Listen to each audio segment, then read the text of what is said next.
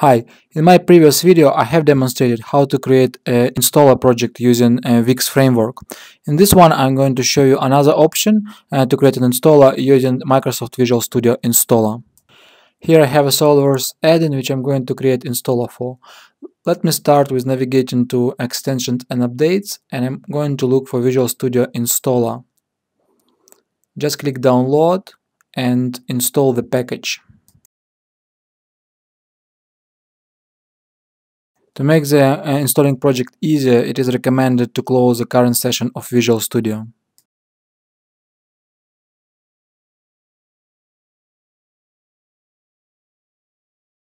It usually takes few minutes to install that extension. Now it is complete and I'm just going to start a Visual Studio session. I will add new project to my solution, which is going to be my installer project. So when extension is installed, it adds new template under the other project types, Visual Studio Installer. I will select Setup Project and specify the name for my installer. So at first step, I'm going to add the libraries and required COM registration to my add-in. So I can just go to add project output, select my primary project from the list, which is going to be the project for my add-in, and just pick up the primary output option. So as you can see now uh, it loads my uh, primary output plus some dependencies. Some of the dependencies might be missing because my project was never rebuilt. So when I rebuild it now, I should be able to refresh my dependencies to see all the required files. So here it is. So this step will not only add my files to the install directory, but also will register my add-in as a COM object, which is required for SOLIDWORKS add-ins. Now I will start to modify the properties of my installer and filling some attributes. So I will start with author attribute. In order to add the icon to the installer, I'm going to add the resources into my uh, project. So here I have a resources files and I'm just going to add them together into my project. So now I can refer that icon in my add remove program icon attribute. So I click browse and I'm going to select uh, to look at the application folder and here's my icon. Let's continue and fill more attributes. So here I'm going to change the manufacturer of that product. Set the product name change the platform of the installer to be 64-bit instead of 32-bit, and finally set the title. I would recommend to keep the version of installer in sync with the version of the assembly, as it is specified here. So I'm just going to change it to 0.0.2, which is the current version of my product. I will ignore this message for now because it's the first version of my installer and I will explain to you later what it means. Now let's customize the pages of my installer. So I'm just going to click right mouse button uh, on the installer project and select the user interface option into the context menu. Here you can see all of the pages and their order of my installation process.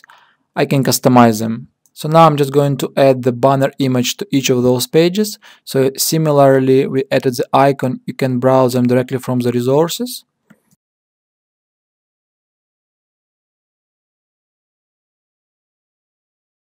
It is possible to add some extra pages into the install project.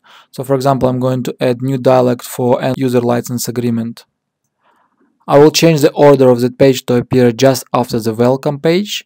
And I'm going to browse the banner image and the content of the EULA in rich text format. And as a final step, I need to add registry keys so SOLIDWORKS can recognize my add-in. I can go to the registry view and I can create few registry keys here. I need to add the GUID of my add-in under the local machine, software, SOLIDWORKS add-ins.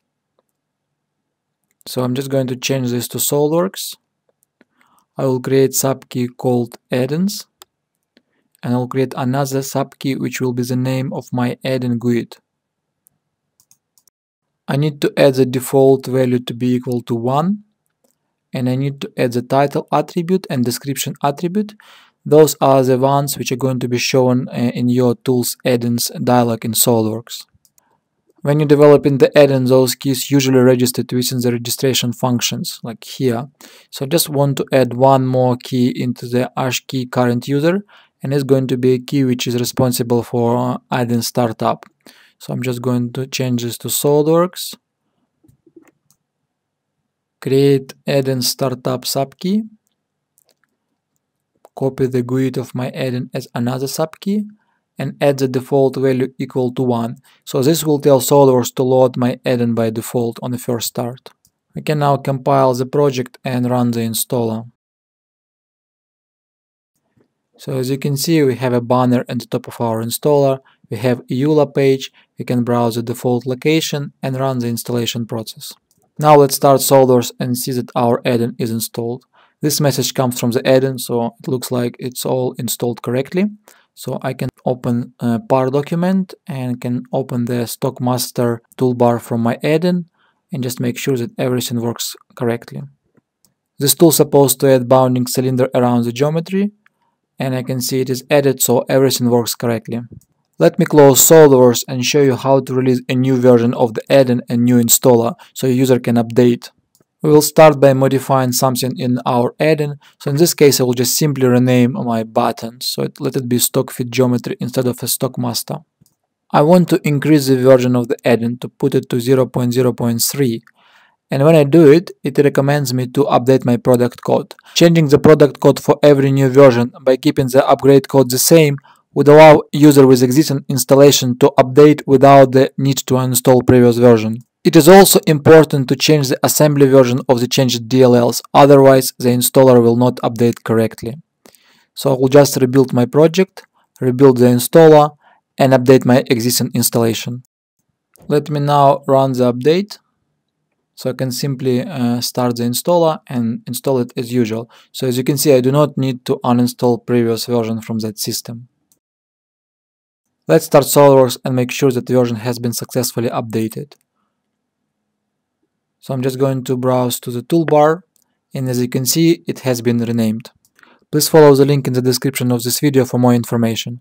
Thank you for your time.